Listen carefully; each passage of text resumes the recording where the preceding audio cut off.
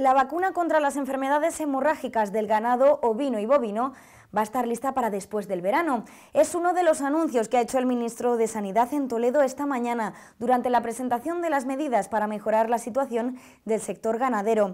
Para erradicar estas enfermedades, el Gobierno regional ha avanzado que va a haber ayudas dirigidas a los ganaderos sobre esta materia antes de finalizar este mes. El incremento de los precios, la reducción de cosecha y la crisis sanitaria del ganado vino y bovino han evidenciado la fragilidad del sector primario. Así lo ha descrito el ministro de Agricultura, quien ha presentado un paquete de medidas para hacer frente a la delicada situación del campo y del ganado. Entre ellas está el saneamiento de las explotaciones para un mejor control sanitario y también la implantación de la figura del veterinario de explotación.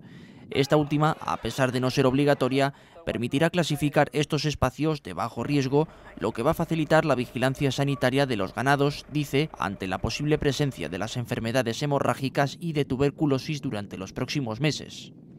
Es posible que veamos casos este año en zonas donde el año pasado no estuvo presente. Y esa es una de las conclusiones epidemiológicas que tenemos.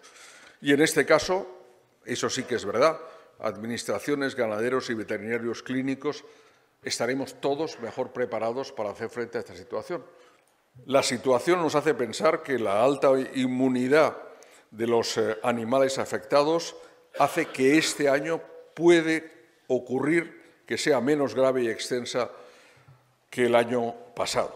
Pero no a mucho tardar. De acuerdo con el contacto que mantenemos con los laboratorios que están trabajando sobre la materia, al finalizar el verano, después del verano, podremos disponer de la vacuna de la enfermedad hemorrágica.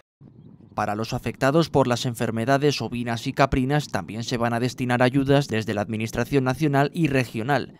Esta última tiene previsto publicarlas en unos días. Antes de que acabe el mes de mayo pondremos a disposición también de los ganaderos de la región que han padecido esas enfermedades pues una línea de ayudas que intenten afrontar al menos los costes que han tenido también en el mantenimiento, en la erradicación, en el control de, esa enfermedad tan perjudicial para, para el sector.